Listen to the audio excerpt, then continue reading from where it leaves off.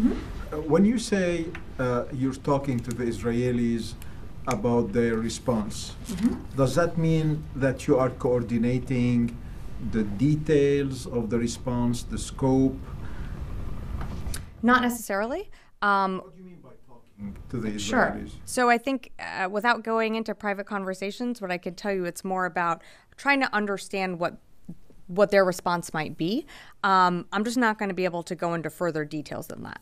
Okay, when you when you are trying to understand what Mm-hmm. the response is going to be, uh, are you confident that the Israelis uh, will will will give you a notice in advance uh, when and where the response is going to take place, Yeah. So Joe, or they're going to keep you in the dark? what I can tell, well, I th- you know, great question. Same question that Idris asked me. Uh, my answer has not really changed. Well, let me let me let me then try and tackle this different question. Um, so, in terms of advance notice, we are in, we are talking to them about their response. I'm just not going to be able to go into more details than that.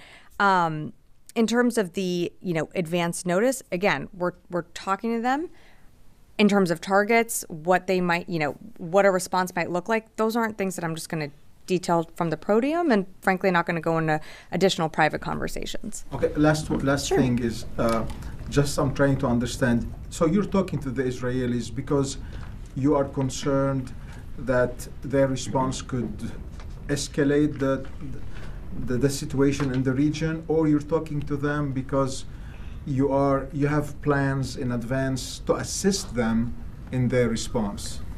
So I think what the president has said is that um, you know Israel has a right to respond. I, I would remind you that um, on October 1st we saw two nearly 200 ballistic missiles launched towards Israeli territory with the atten- intention um, to kill innocent civilians, to do damage to infrastructure, and um, because of the incredible coordination between the United States and the Israeli military, we were effective in you know combating and, and, and mitigating damage and preventing you know um, uh, massive casualties from that attack.